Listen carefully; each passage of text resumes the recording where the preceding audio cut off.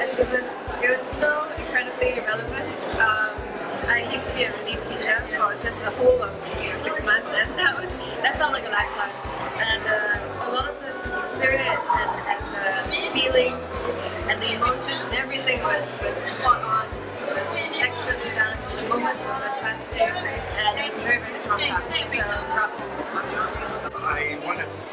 congratulate uh, Yellow Chairs Chair Productions. I, I thought it was really well done. Uh, I, I think it was well cast. Uh, the pace was good, uh, the humor, everything was spot on. And I like the simplicity, the staging. It was very immediate and very sincere uh, in the delivery.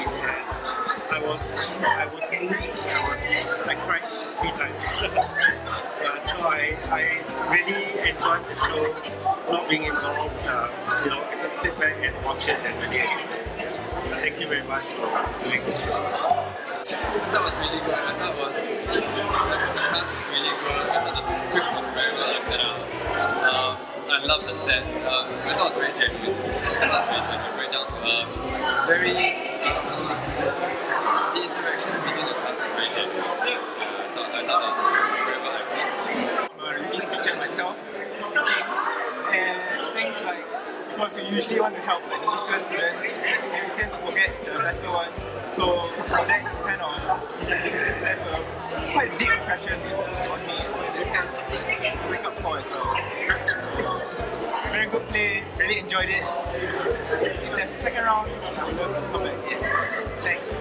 My eldest son got an internship. Oh, yeah, shy. Uh, internship secondary tried the summer stream about and a year.